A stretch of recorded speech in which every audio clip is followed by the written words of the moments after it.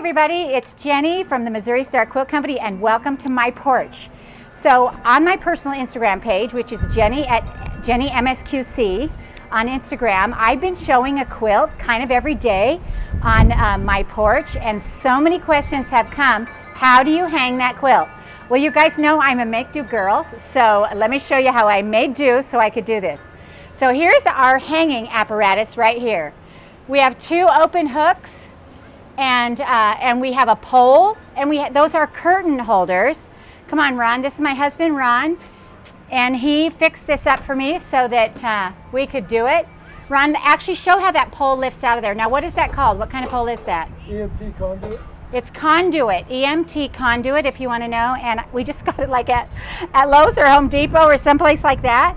And these are just those little curtain things, can you see those? They just have a little squeezy and they grab our quilt and hold on. There's several different kinds of things like that that you could use. And, uh, and we hang, we just have like, uh, I think there's five on here. So we hang from the middle first and then we come out here and we hang this outside one and he put these stops on here so that even if it's windy, it won't, it won't blow over.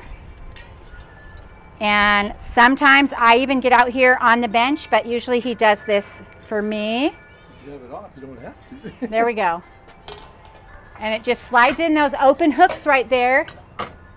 And we hang it up. And then this is the view that you see when I put, uh, when I hang a quilt on my porch.